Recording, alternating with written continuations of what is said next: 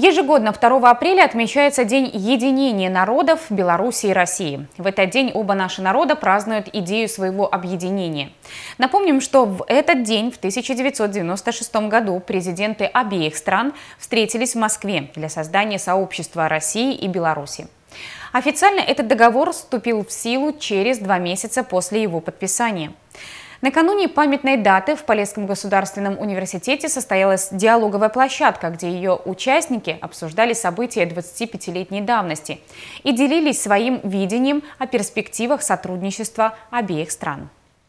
Очередная диалоговая площадка была посвящена Дню единения народов Беларуси и России. В ней приняли участие представители промышленных предприятий города, депутатского корпуса, горисполкома, общественных объединений и, конечно, молодежь. Как отметила начальник отдела идеологической работы по делам молодежи Пинского горисполкома Валентина Кулак, сегодня именно с молодежью надо работать, ведь она определяет будущее нашей страны. Нам очень важно узнать, как молодежь смотрит на проект дальнейших, дальнейшего сотрудничества двух наших стран. Конечно, конечно, какие-то, может, перспективные моменты, может быть, будут внесены какие-то предложения вот э, и на уровне студенчества для будущего развития двух государств.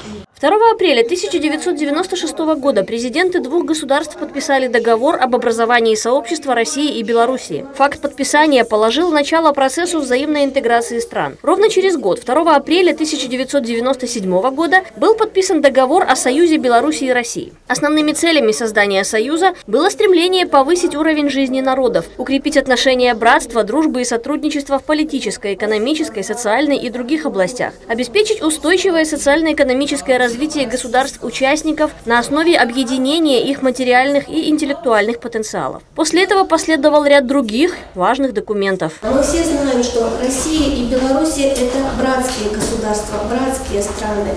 Мы братские народы, у нас общая история, у нас общие славянские традиции, у нас общие обычаи, общая культура, у нас похожие языки. То есть эта общность, она исторически сложившаяся.